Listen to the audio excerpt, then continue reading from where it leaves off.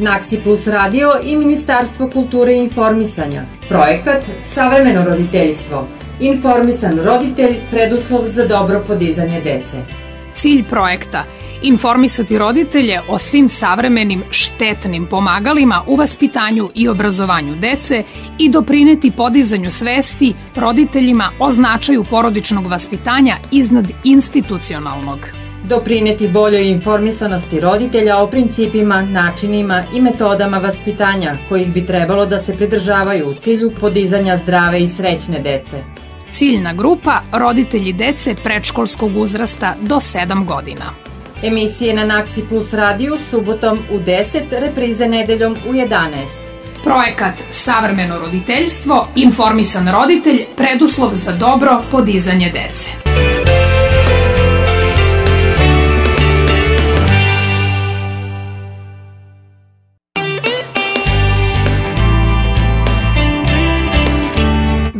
Poštovani slušaoci. Ovom emisijom počinje serijal u okviru projekta Savremeno roditeljstvo, informisan roditelj, preduslov za dobro podizanje dece. Ovaj projekat Naxi Plus Radio realizuje uz podršku Ministarstva kulture i informisanja. Naša ciljna grupa su roditelji dece predškolskog uzrasta do 7 godina. Ove emisije su isključivo edukativnog karaktera i prema planu svakog vikenda govorit ćemo o najčešćim problemima koji se javljaju roditeljima prilikom odgajanja dece u najranijem uzrastu. Današnja tema je zdrava hrana i pravilna ishrana kod dece.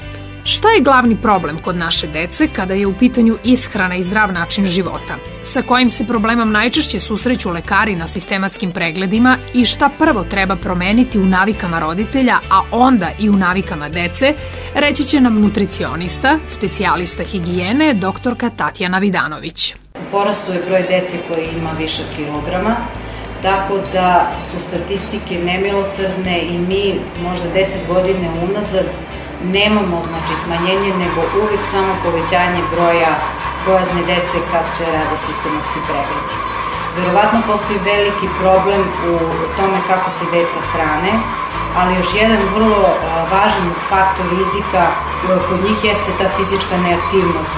Navika da se sedi kod kuće, pored kompjutera, pored televizora, da se igraju igrice, da se pritom grickaju nezdrave grickalice ili neka druga hrana koja nije baš mnogo znači, preporučljiva i naša deca polako, polako znači, dodaju e, težinu i postaju sve više troma. E, skorije, u skorije vreme je rađeno jedno istraživanje gde je grupa dece imala zadatak da se popne na drugi sprat stepenicama, znači bez zaustavljanja, i nakon tog testa videli su da 80-90% dece nema kondiciju da se jedan put popnu na drugi sprat zgrade, što je stvarno bilo jedno poražavajuće otkriće. Sasvim mala deca nisu u mogućnosti da biraju kako će da se hrane, a o tome odlučuju njihovi roditelji, pa kad govorimo o deci preškolskog i ranog školskog uzrasta, mi praktično govorimo o njihovim roditeljima, odnosno njihova iskrenost zavisi od toga koliko su njihovi roditelji edukovani o tome i koliko oni u stvari njima spremaju zdravu hranu i koliko forsiraju zdrave namirnice.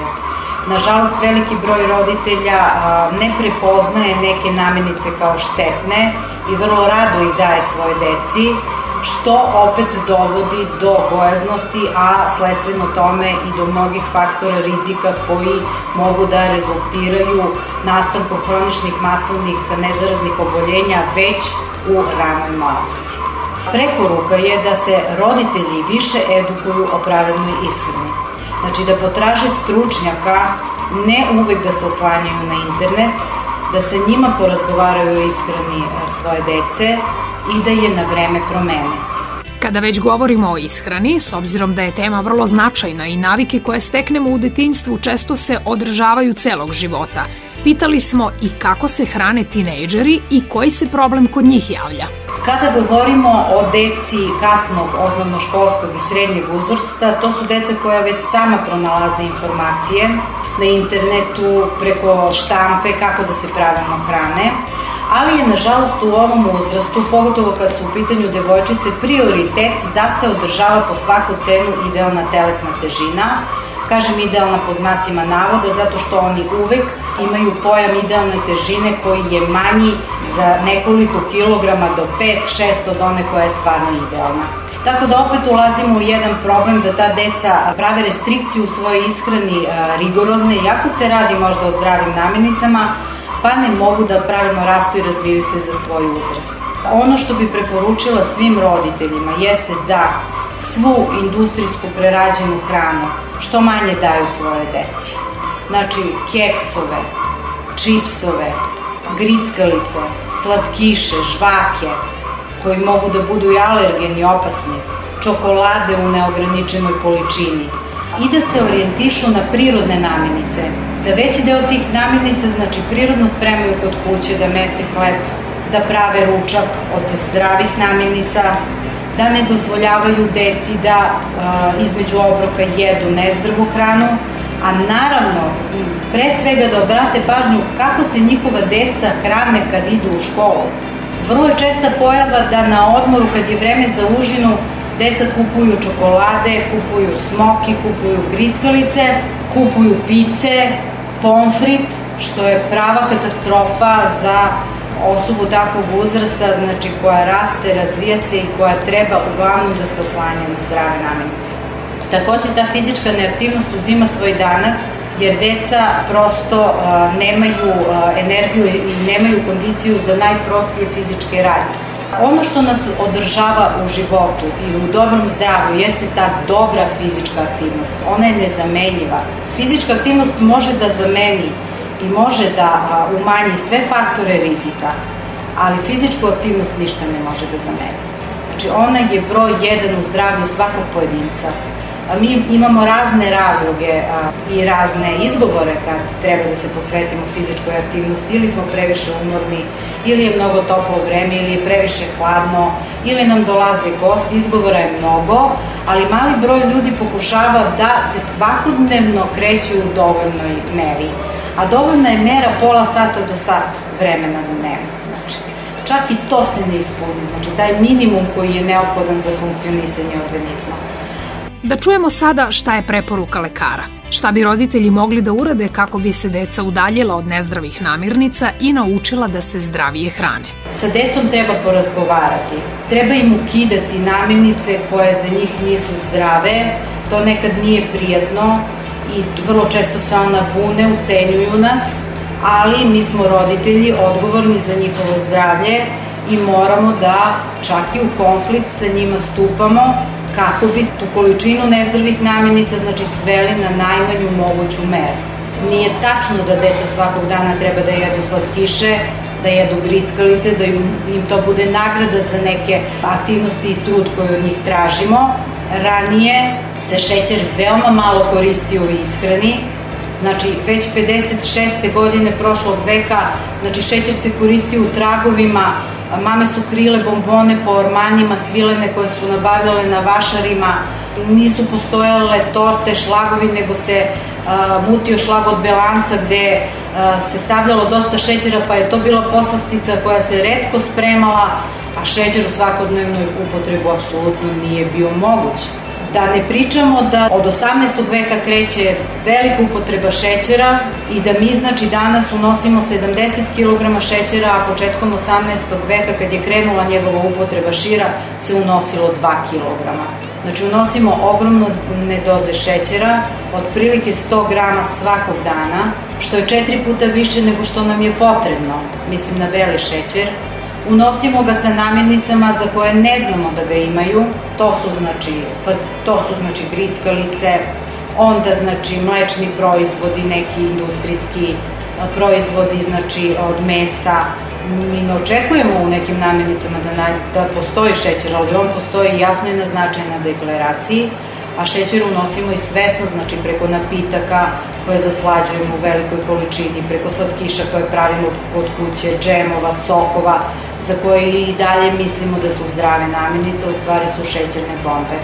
Prvi put u istoriji čovečanstva broj gojaznih premašuje broj neuhranjenih ljudi.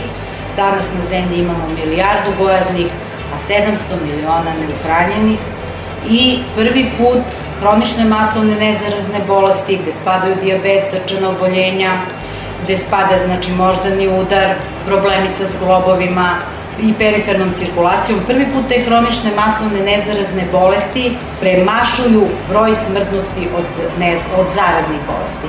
Znači, više ljudi umire od ovih hroničnih masovnih nezaraznih oboljenja nego od zaraznih bolesti, što do sada nije bio slučaj na našoj planeti. I na kraju, da čujemo kako treba da izgleda jedan dan deteta predškolskog uzrasta u ishrani i sportskim aktivnostima. Ujutro za doručak prvo svi moramo da forsiramo integralne žitarice i a, proizvode od integralnog brašna. Znači, a, raženi hleb umesto belog hleba sigurno jer je to civilizacijski napredak. Znači, zašto bi davali detetu beli hleb ako znamo da je integralni dvostruko e, kvalitetniji i bolji za njegovo zdravlje. Treba ga naučiti da jede integralni hleb. Kriška hleba, čaša kiselog mleka ili jogurta, jedno kuvano jaje ili znači e, tunjevina, sardina, salata od paradajza. Za užinu uvek svakako voće sad u ovom periodu ima ga na pretek, možemo da ih kombinujemo, da jedu po dve, tri vrste voća za užinu, 200-300 grama. Za ručak, znači, čorbice od belog pilećeg mesa sa dosta povrća, da ih naučimo da jedu kašikom. Znači, te čorbice da budu sastavni deo ishrane, da za ručak uvek imaju supu ili čorbu od pilećeg mesa, ne ove supe iz kesice koje imaju 300 puta više soli nego što bi bilo potrebno. To su koncentrati soli koji treba da se maksimalno izbjegavaju. Opet kriška hleba, parče kvalitetnog mesa koje nije mnogo masno, ne treba da učimo decu da je meso samo svinjetina, nego treba da u tom ranom uzrastu aktivno počnu sa unošenjem belog pilećeg mesa, ribe i da ih često imaju na jelovniku, kako bi to naučili. Trebalo bi da za ručak uvek bude salata sa maslinovim uljem, isto i za večeru, znači povrće treba da se jede u što većoj meri. Zato treba da izbegavamo grickalice kako bi dali prednost povrću i mesto da se one unese u organizam. Za večeru, znači možemo da im napravimo znači proju od integralnog brašna, možemo da im napravimo pogačice od integralnog brašna, palačinke, ali sa integralnim brašnom kao slane koje ćemo kod kuće da napravimo i da mlečni proizvod takođe bude sastavni deo. Ako se radi o suhomesnatim proizvodima, da to budu proizvodi od čistog mesa, znači pre svega te pileće šunke, ćureće i da praktično svedemo ishranu što se tiče slatkiša i grickalica na neku najmanju moguću meru. Slatkiša u vidu sladoleda voćnog, koji opet kod kuće možemo s malo šećera da napravimo, ili neki kolač koji ćemo kod kuće da napravimo, znači da bude zdrav sa voćem. Deci treba davati posle podne kad im padne energija i e, nije problem da oni u toku dana uzmu nešto slatko, ali moramo voditi računa o količinama i moramo da vodimo računa o tome da to ne budu e, industrijske namirnice sa mnogo dodatog šećera. Takođe treba da im ograničimo unos voćnih sokova. Roditelji vole da kupuju deci sokove gde piše 100% voće, to jesu zdravi sokovi, ali do nekle, pošto se ne zna ona druga strana medalje da ti sokovi uvek imaju dosta dodatog šećera, pored toga što imaju 100% voća, i da više od jedne čaše ne bi trebali da dajemo deci, a o gaziranim sokovima uopšte nema govora, to deca uopšte ne bi trebali ni da probaju maltene, a najbolji je sok onaj koji mi cedimo kuće od voća ili izmiksamo, i onda smo sigurni da je to nešto što deca treba sigurno da uzimaju i bez, da to bude bezbedno za njih. Poštovani slušaoci, ovo bi bilo sve što smo vam pripremili za danas. Budite slobodni da nam se javite sa pitanjima i sugestijama na mail plus radio 010 at gmail.com ili na Facebook stranicu Pirot Plus Online. Takođe, broj naše redakcije je 320 421. Do sledećeg slušanja, svako dobro.